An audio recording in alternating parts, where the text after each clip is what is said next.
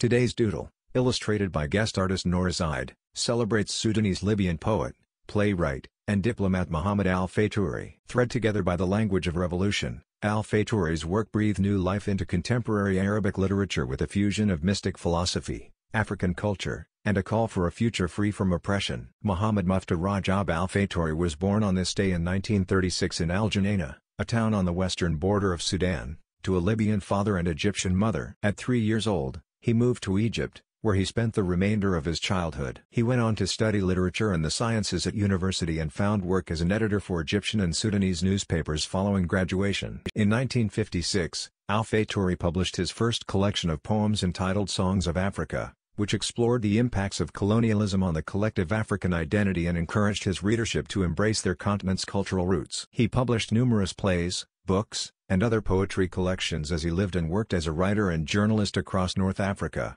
from Lebanon to his birth country of Sudan. Almost 50 years after the release of his first collection, Al-Fayturi's literary career climaxed with the release of his final two books in 2005. Today, he is widely regarded as a pioneer of modernist Arabic literature. Happy birthday, Muhammad Al-Fayturi.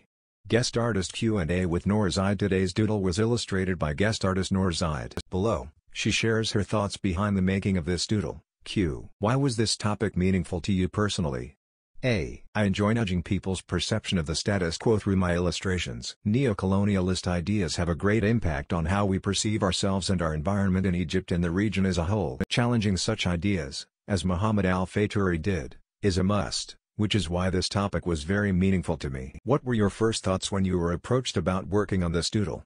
A. My thoughts were a mix of excitement and worry. Excitement because I was eager to create a doodle honoring al-Fayturi. It's a dream project to be quite honest. Worry because I questioned whether or not I could do al-Fayturi's work justice through my illustration. His poetry tackles topics of racism and colonialism in the region, which are still relevant today. So it was very important for me that I do his work justice. Did you draw inspiration from anything in particular for this doodle?